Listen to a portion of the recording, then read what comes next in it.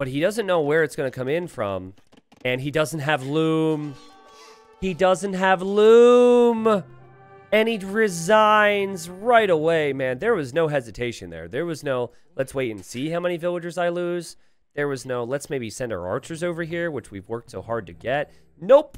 He just instantly resigns. In fact, that was so fast. It would not surprise me if that was an Alt F4. Let's look at the, the amount of time between the men-at-arms arriving and the resign. In actual seconds. Let's see from the first attack. Okay. We got one, two, two seconds. that to me looks like an Alt F4. I mean, maybe he's really fast with his menu hotkeys.